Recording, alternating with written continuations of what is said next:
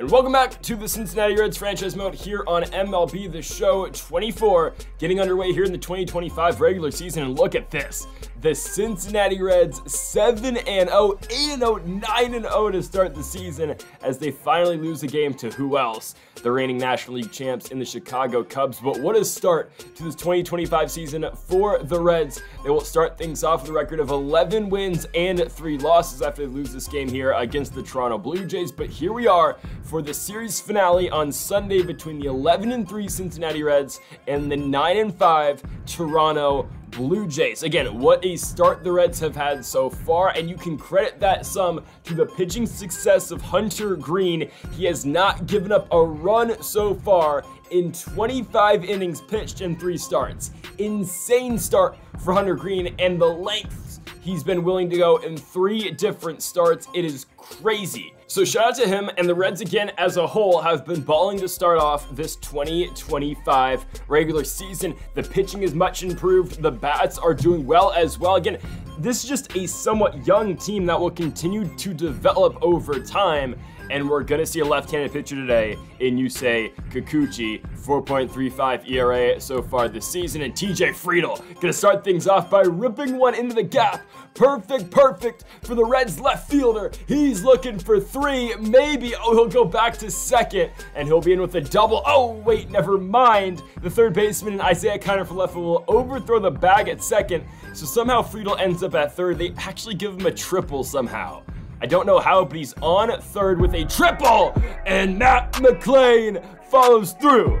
Doesn't matter if it's a double or a triple anymore, because Matt McLain follows up that extra base knock by TJ Friedl with a deep shot into left field. His first of the season. Took him 15 games, but Matt McLain finally goes deep here in the sixth. 2 nothing Cincinnati to start this game off just like that. And you kind of thought matchup wise, this is a pretty good matchup for the Reds against Kikuchi because of the lefty and just because overall is not that high either. And this is a guy who absolutely lives on beating left-handed pitching Spencer Steer. All the way up to the four spot here against left-handed pitching in 2025. Spencer Steer hits the second of the season, opposite field into right, 368 feet, and just like that, the Reds have taken a 3-0 lead. I haven't even talked about the rest of the lineup so far tonight. There's Christian Encarnacion Strand, who strikes out on a slider. He's in the lineup today against the lefty. Noelvi Marte is obviously always in the lineup, but the other addition will be in the nine spot, and Esteury Ruiz. Ruiz gets to bat against lefties, the former Oakland Athletic. Nick Lodolo's been good this season, man. 2.7 ERA, crazy start for him, especially after, you know, the struggles he saw last season. Lodolo's doing really well to start off this year, and really, again, everyone's been doing pretty solid. The only guy surprisingly who has struggled in the rotation is Andrew Abbott. I messed up this pitch, so don't look at my pinpoint on that one. Bichette gets on with the walk as Dalton Varsho comes in and he'll strike out on a slurve away. But yeah, everyone really in the pitching staff has been doing well for the Reds with the exceptions of Andrew Abbott, but I think he will smooth things over as we get going in the season. And surprisingly, I mean, maybe not surprisingly considering he had a horrible season with the Pirates last season, Aroldis Chapman. He's got like a 9 ERA. I mean, his ERA last season was 7. Hopefully, again, both Chapman and Abbott can figure things out. Tyler Stephenson right there picks up a one-out double, and now Ruiz is going to hit one in the left field. Will they send Stephenson? We will. Rounding third base, Tyler Tyler Stephenson's in there, and Esteury Ruiz, obviously with the speed, gets to second. 4 nothing Cincinnati. Ruiz now looking to swipe third, and he will. Gotta get used to that here with the Reds and the new speed coming from Esteury Ruiz and TJ Friedl. It's that easy. Just gotta put the ball in play and it will score Ruiz from third. 5 nothing now the score for Cincinnati and we're just in the second inning. Here comes Matt McLain on the 3-2 pitch, and oh, okay, that one is going to get by the third baseman and Isiah Kiner-Falefa. Just something to note for the Blue Jays as I, I, messed up the steal attempt. Yeah, we're going to get picked off off of first base. But Vladimir Guerrero Jr. no no longer on uh, Toronto. We mentioned in the last episode, Josh Bell no longer on the Marlins. Well, Bell is here in Toronto. I guess he is their replacement for Vlad. I'm not completely sure where Guerrero ended up, but yeah, just something to note. The face of the franchise, I would say, for the Blue Jays, no longer here. George Springer is still around, though, and he will pick up the first hit of the night for Toronto as he will get one in the left field. Springer's on with a one-out single for Spencer Horwitz, the first baseman, and yet to see a hit so far in this 2025 season will pop out into foul grounds to Novelli Marte. Here comes Jeimer Candelario. He struck out in his first AB, and Candelario will do it again. Here comes Spencer Steer. Perfect, perfect rip. Oh, man. Right to Bo Bichette. You can't get more unlucky than that one. As Christian Encarnacion Strand, though, gonna hit one to Bichette, and Bichette's gonna mess it up. I think they're gonna call that a hit for Encarnacion, I believe um, as Noelvi Marte, or Novelli Marte, excuse me, will fly out into right field, ending the inning. To the bottom of the third, Cavan Biggio still here for Toronto. I mean, they still have a lot of the core pieces, right? Kiermaier's here still. I mean, I wouldn't call him a core piece, but he's still on this team, right? Bichette, obviously, Varsho, Springer, and Biggio are all their main guys. It's just, again, this team has a glaring hole, I would say, in Vladimir Guerrero Jr. not being here anymore. To get on with the two-out single, bringing to the plate Bo Bichette after a Kiermaier stolen base. Bichette, though, going to take strike three, looking on the slurve. So Nick Lodolo, five shutout innings. You couldn't have asked for a better start to the season and to this game. Again, Lodolo trying to prove why he should be in this rotation long term because really, this is a prove-it year for Lodolo. If things don't work, I think we're going to have to look at him in a trade, especially with the guys that we have coming up. Obviously, we've got Rhett Lowder, the pitcher out of Wake Forest, who was picked in the draft a couple years ago for the Reds, and last year's second overall pick in Martin Valenzuela. Again, spots in this rotation are eventually going to need to be filled. Obviously, we can move those guys to the pen if needed in both Lowder and Valenzuela. But again, it's not easy sailing for any of these guys in this rotation. Like, you got to be on your A game if you do want to stay on this squad. As Lodolo, again, after giving up a double to Josh Bell, will get Alejandro Kirk, another member, I guess, of the core unit for this Blue Jays team. And George Springer will follow by flying out into left field. So, still four shutout innings for Lodolo.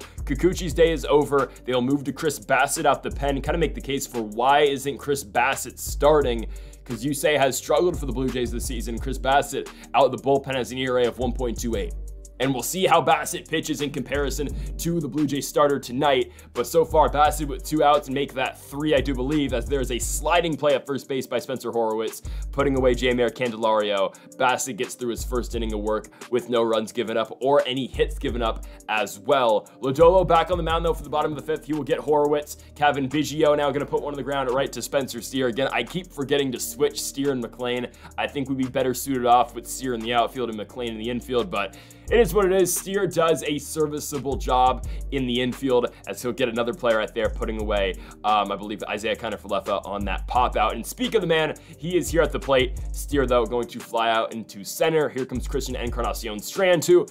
I'm just trying to figure out in this game. I just... Encarnacion stats just aren't the best. They, I don't think they replicate real life that much. I get as a base player coming into the 2024 season, but the problem is Encarnacion just does not develop at all, and that's kind of a problem. So we start off the bottom of the sixth with Kevin Kiermaier lining one into right field. The Blue Jays with the leadoff runner on. Bo Bichette now gonna hit one past the diving glove of Novelli Marte. First and second, no outs for Dalton Varsho. Varsho hits one into center field. Three straight hits for the Jays, and that's gonna score a run five to one, and Lodolo's day is done. In comes the secret weapon, Mason Miller. He's only pitched one inning so far this season, but Miller, watch him in real life. He is gross for the Oakland Athletics. Hoping for some good production out of him here with the Reds. Got him in that trade with Ruiz, obviously. He'll get a pop out, and now Alejandro Kirk going to pop, or just, I mean, it's technically ground out, and Stephenson is going to fire to third. I mean, it's a little blooper, but Stephenson will get the force out at third base, and there's the nasty slider by Mason Miller. He unloads with that velocity and hits you with that gross slider with a lot of movement as well. Again, I'm telling you, that guy is going to be a very good reliever for a very long time in this league, not just in this game, but in real life too. I really think so. He's the best guy maybe the A's have on their entire team as, you know, as an all-around player. Tyler Stephenson, though, gonna start off the top of the seventh by getting a double into right field. Here comes Esteury Ruiz and Chris Bassitt gonna get him on that curveball. Two gone for TJ Friedl. Full county rips one into right field. That ball is going to get through. Will they send Stephenson to the plate? They will. Here comes the throw by George Springer way off line. And the Reds go up 6 to 1 thanks to that RBI single by Esteury Ruiz. Matt McLain going to try to add on, but he will fly out into center. But still, the Reds get that one run back our new score is 6 to 1, and time for Aroldis Chapman to figure things out. The ERA is 7, not 9 like I thought, but still, let's see if Chapman can get things going. He gets a lefty lefty-lefty matchup here against Spencer Horwitz, and there's a flyout into right. And now another lefty-lefty matchup in the form of Cavan Biggio, who's 0 for 2 today. And Biggio just gonna hit one softly on the ground to Elly De La Cruz. Two up, two down for Chapman. Let's see if he can get the righty here in Isiah Kiner-Falefa. 3-1 offering, he walks him. But again, Chapman will see yet another lefty in the form of Kevin Kiermaier, and on the 2-2, he got him. 102. The Reds have some serious flamethrowers in this bullpen in the form of Chapman, Miller, and more. As we now go to the top of the eighth, Jeimer Candelario still held hitless tonight, and Chris Bassitt okay, before the Spencer Steer Perfect Perfect has done a real good job limiting the damage of this Reds offense compared to at least what their starter did today. But Steer is on here with a one out double that went perfect perfect into right center. Christian Encarnacion, though, with a horrible swing on an inside sinker. Two down the inning for Novelli Marte. On the one two, he's too late on a sinker by Bassitt. To the bottom of the eighth. Tejay Antone is the set man. I won't anticipate a Camilo Doval appearance tonight just because of the lead we have, but still, it's good to get Antone some innings. And Bo Bichette kind of just gets lucky on that hit, extending the bat, pulling it in the left. He's on for leadoff single. Dalton Varsho on the 1-2. That ball's going to hit him. Oh, the slurve runs in. No outs. Here comes Josh Bell, going to weakly hit one on the ground to Spencer Steer. The only play is at first. Two runners in scoring position for Alejandro Kirk, the catcher. He'll bounce one to Spencer Steer. Play is made at first base, but the Blue Jays get one back. So here comes George Springer on the 2-2 pitch. He hits one up the middle, weak contact, but it gets through. And now, don't look now, but it's a three-run game. We'll keep Antone in for Spencer Horwitz. Horwitz up the middle, another weak hit for the Jays. First and second and two outs, and the tying run is to the plate and unexpectedly we have to bring in Camilo Doval. He's not given up a run so far this season. He'll get Cavan Biggio on the 2-2, got him swinging. Big pitch by Doval on the slider as he looks for a four-out save here tonight in Toronto. Let's see though if we can make this not a save situation anymore by getting the man some run support. Elly De La Cruz flies out into center. Tyler Stephenson takes a bad swing and will ground out to second to Biggio. Two gone, we bring in a pinch hitter for Esteury Ruiz in Joc Pederson. Again, you know the power he brings. Pederson comes up on a 1-2 pitch against Yimi Garcia, and he'll strike out in a sinker. So that'll do it for the top of the ninth. Obviously, Pederson will not stay in the field, so enter Stuart Fairchild. He'll be playing center field for the spot up in the ninth. Here it comes. Isiah Kiner-Falefa first against Doval, and the Jays continue to find ways to get hits. Leadoff man aboard, Falefa's on first. Here comes Kevin Kiermaier on the 1-2. That slider stays middle middle, and that one's ripped into right field. McLain gets it, but runners on second and third for the Blue Jays with no outs. Wait, but oh. Okay, I don't know why Falefa went to home. That makes no sense. The Blue Jays gift us an out. Bo Bichette on the 1-1 pitch, and that would have scored a run. Will they send another runner to the plate? They're not going to test McLain this time. On the corners, one out, tying run to the plate is Dalton Varsho. He stares at strike three on a slider.